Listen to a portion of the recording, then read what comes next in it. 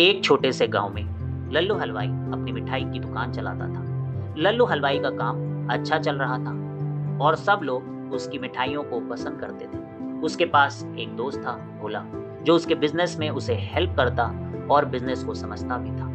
एक दिन भोला ने लल्लू से कहा, लल्लू भाई, हमारा बिज़नेस तो मस्त चल रहा है, लेकिन क्या आपको पता है हमारे बिज़नेस का रिटर्न ऑन इक्विटी क्या है?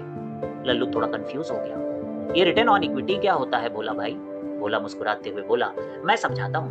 देखो रिटर्न ऑन इक्विटी यानी आर का मतलब होता है कि हमारे बिज़नेस में जो पैसे हमने लगाए हैं, उससे हमें कितना प्रॉफिट हो रहा है।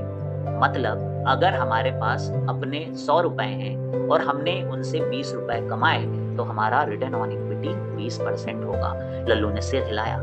लेकिन अभी भी उसके मन में कुछ सवाल थे। लेकिन ये कैसे काम करता है? बोला, भाई भोला ने एक मिसाल दी। मान लो, हमने बिज़नेस में अपनी जेब से एक लाख रुपए लगाए।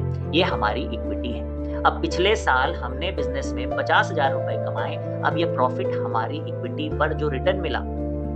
तो आर का मतलब हुआ कि जो रिटर्न का प्रतिशत बना है हमारे लगाए हुए इक्विटी पे, वही आर है। लल्लू सोचने लगा। अच्छा अब मैं समझ गया। हमने जो एक लाख रुपए लगाए, वो इक्विटी है।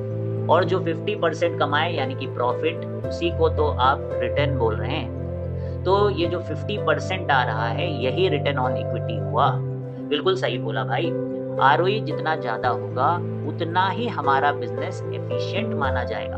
क्योंकि इसका मतलब है, हम कम पैसे से ज़्यादा प्रॉफिट कमा रहे हैं। और यही तो सब लोग बिज़नेस में चाहते हैं। लल्लू अब पूरी तरीके से समझ गया। मतलब अगर मैं अपना आर बढ़ाना चाहूँ तो या तो मुझे अपना प्रॉफिट बढ़ाना पड़ेगा, या अपने लगाए हुए पैसे को एफिशिएंटली यूज़ करना होगा। बिल्कुल, भोला ने कहा, और यही बात हमारे बिज़नेस को और सक्सेसफुल बनाएगी। जैसे जैसे हमारा आर बढ़ेगा, लोग हमारे बिज़नेस में इन्वेस्ट करना चाहेंगे, क्योंकि उन्हें लगेगा कि ये बिज़नेस अच्छा रिटर्न दे रहा है। लल्लू खुश हो गया। अब उसे समझ में आया कि आर बिज़नेस के लिए कितना ज़रूरी है। उसने सोचा कि अब वो अपनी मिठाई की क्वालिटी और सर्विस को और अच्छा करेगा, ताकि उसका प्रॉफिट और बढ़े और उसका आर भी बढ़ जाए।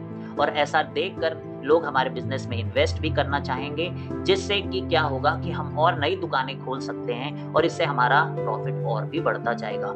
और इस तरह लल्लू हलवाई ने रिटर्न ऑन इक्विटी के महत्व को समझा और अपने बिज़नेस को और सफल बनाया।